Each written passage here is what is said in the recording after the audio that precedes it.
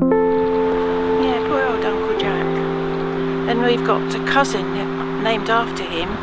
And I have since discovered that my mother had a baby between my two older sisters who died in infancy. And he too was called Jack, so she named him after Jack. Yes, it was a little bit emotional. Just think that, that I'd come and I was the first one, and I knew how my aunts and uncles had been desperate to come. Um, but, well, that's life, isn't it? And I do, I still feel really sad that they, they never got here to see.